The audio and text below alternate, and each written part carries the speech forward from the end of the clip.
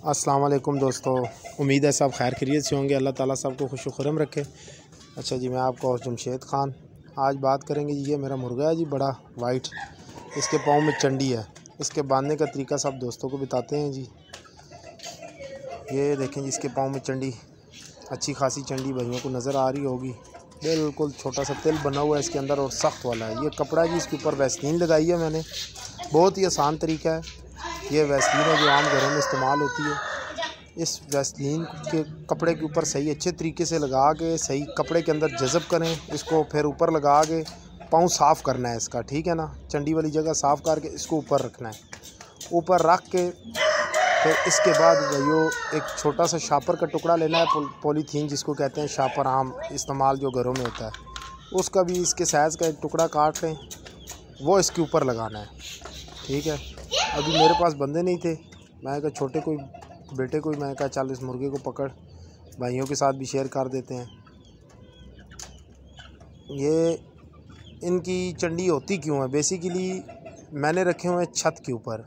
सख्त जगह होती है, मुर्गे का वेट है साढ़े तीन के जी ठीक है ना जी? साढ़े तीन के जी वेट है मुर्गे का। इस वजह से सख्त, और फिर ये खुडों के ऊपर चढ़ते हैं, नीचे छलांगे मारते हैं, फिर इनको चंडी हो जाती है। तो इसका बेहतरीन इलाज है और आजमूदा इलाज है। दो तीन मुर्गों की पहले भी मैं अपने बड़े मुर्गों की चंडियाँ निकाल चुका हूँ इससे। ठीक छः दिन बाद ये आपने इसकी पट्टी खोलनी है वापस खोल के चेक करना है। अगर चंडी बाहर आ चुकी है तो उसको आराम से पकड़ के बाहर निकालें और पायोडीन लगा के दोबारा पट्टी कर दें। और अगर आपको लगता है कि चंडी बहुत सख्त है पुरानी है नहीं निकल रही सही तरीके से जड़ से नहीं निकलेगी तो उसका बेहतरीन तरीका है दोबारा यही पट्टी सेम तरीके से आपने बांधनी है। कि मुर्गे को तो इन पाँच छः दिन बाद खोलेंगे तो चंडी बिल्कुल बाहर आ जाएगी आराम से आप पकड़ेंगे हाथ से निकल जाएगी जड़ से निकल जाएगी और इन दोबारा चंडी नहीं होगी। अभी ये मुर्गे की आपके सामने मैं इसको चंडी बाँध रहा हूँ क्योंकि ये मसला है जी कि ये हमारे छतों वाला मामला है कच्ची ज़मीनें तो हमारे पास है नहीं है शहरों में रहते हैं। मैं कहा, चलो दोस्तों को बता दें, अक्सर नए शौकीनों को, पुराने शौकीनों को तो सब कुछ पता है। वो तो इसका प्रॉपर हल कर लेते हैं। नए शौकीनों को जो नए होते हैं भाई, उनके लिए ये सबसे बेहतरीन तरीका है, घर में वैसलीन है, कपड़ा लें और ताकि एक छोटा सा पीस ले के जो आप पाँव की तली के नीचे बराबर आ जाए उस पर अच्छे तरीके से आपने वैसलीन लगानी है, सही तरीके से। और मुर्गे को चंडी आपने बाँध देनी है, ऊपर से मुकम्मल तरीके से उसको बाँध के, पट्टी के साथ फिर एक छोटी सी ये जिस तरह मैंने लिया है, इस तरह ले के ऊपर से बाँध दें कि चंडी, ये ऊपर से कपड़ा खुले नहीं। ठीक है ना? ये इस तरह ले के सही तरीके के साथ बांधें इसको कि ये कपड़ा खुले नहीं। छः दिन बाद आपने खोलना है, सात सात दिन बाद खोलें।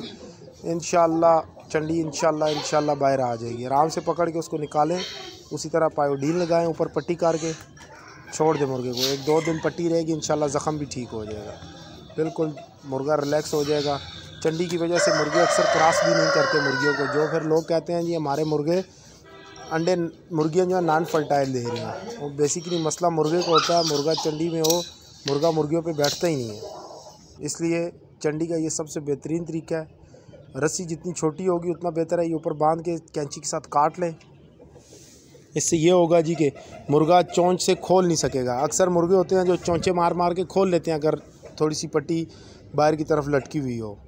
बाकी ये आप दोस्तों के सामने है, ये देखें मैंने इसको बिल्कुल प्रॉपर करके अभी आपको नीचे छोड़ के दिखाता हूँ। ये देखें जी आप मुर्गे को। बिल्कुल प्रॉपर तरीके से आप बाँध गया, इसको कोई टेंशन नहीं है, कोई पाँव इसने वो नहीं किया या चौंच नहीं मारी कि तंग हो रहा हो। बिल्कुल नॉर्मल सी पट्टी बांधनी है, इतनी टाइट नहीं बांधनी है कि मुर्गा तंग हो, ठीक है ना? बाकी इंशाल्लाह भाइयों के साथ, भाई लाजमी कमेंट्स में बताएँगी वीडियो कैसी लगी है। ओके जी, अल्लाह हाफिज़।